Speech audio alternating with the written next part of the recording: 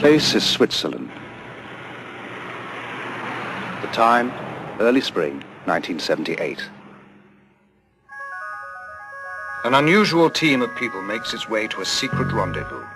Their goal, a tiny mountain village named Schmidrüti. Head of the team is Lee Elders. Based in Phoenix, Arizona, he runs a company called Intercept that deals in industrial counter-espionage. Britt Elders, his wife and partner in Intercept, specializes in electronics. The third member of the team, also a partner and longtime associate, is Tom Welch. They were brought here by Wendelle Stevens, retired Air Force colonel and for over 20 years one of the world's leading UFO investigators. Their mission? To check out one of the most remarkable UFO cases ever reported. One that has been called alternately too good to be true, the hoax of the century, or the start of a new age for humankind. Steve, how long has this case been going on? Since 1975. How many uh, sightings or experiences has this man had? Well, he's had over 30 that I've heard of so far. What makes the case so special in your mind? Why bring us Uh, all the way up here from Arizona? Man, up to now we've been dealing with just the tip of the iceberg. There's a, a mountain of evidence here. There's other witnesses. There's lots of photographs. There's recorded sounds. There's landing tracks. A lot of things in this case. Bigger than any case I ever saw before. How far are we from Zurich? Ah, about 35 miles, 35 kilometers, I think. Man, I've never seen so many switchbacks in my life. This is remote. Stevens leads them over a circuitous route, winding through back roads and stopping often along the way. Why all the precautions? Well, I didn't want to tell you this before, but this man's been shot at. Shot at? Yeah, somebody's trying to kill him. Why?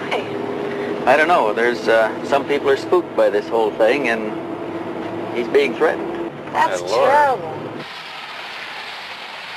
Thus begins what was to become a five-year investigation. Before it is over, they will be embroiled in controversy and forced to use every resource at their command. Hi, Billy. Yeah. I brought my friend's been telling you about. This is mm-hmm. Britt Elders. Hi. Good to meet you. Lee Elders. His name is Edward Meier. He is called Billy, an old nickname that sprang from his fondness for heroes of the American West. Buffalo Bill, Wild Bill, and Billy the Kid. He is a farmer. He claims he has been in contact with beings from another world. Thank you. He also claims to have proof of these contacts. Mr. Meier, when did the experiences begin? The contact begins on January 28, 1975 in Hinwil. Mm-hmm. How did it happen? What what made you go outside into the forest? I got something like a very nice voice in my head. I heard something to leave the house, to go out and to take a photo camera with me. So I left my house and then when I was far upsides from the village, I heard a singing noise in the sky. And when I was looking up there, I have seen a disc. This disc was flying over the clouds, and then it came to the point where I was uh, staying with my motorcycle. Then slowly, slowly, it came lower and lower and set it down between the white trees and the forest there behind.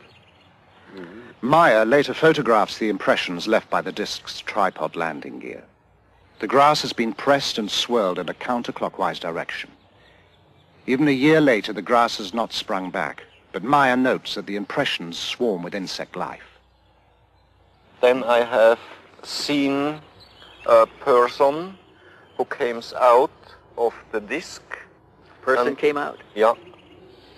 And when the person came out of the left side of the trees there, I have seen that it is a woman. Mr. Meier, what did they look like? She looks like a human from this earth. Like you, like I, like human beings from this earth. You call us extraterrestrials, and you attribute to us superhuman powers. But we are like you. We too are still far removed from perfection and must evolve constantly, just like yourselves. After the first words, we turned and was going to this tree here. You walked over here? Yeah. How tall was she, Billy? Uh, about uh, one meter and 70 centimeter. About like that? So a little bit about like my size. Ah. Yeah. And then she sits chest here and I here. Sit down. Ah. And Then you then sat here and talked to her? Yeah, then we was talking here for uh, about one hour or one hour and a quarter, something like that.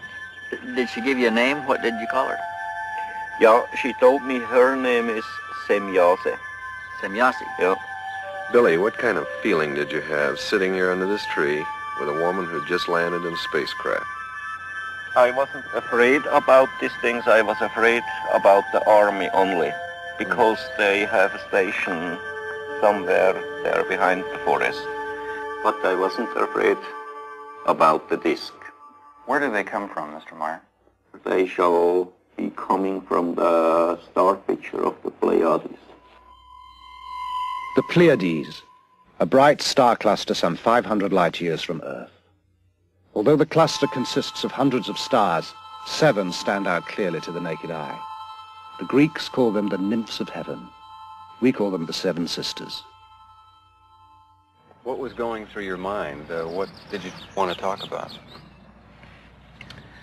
You see, my head was full of questions, but the most of the time she was telling me and I hadn't many chances to ask her something.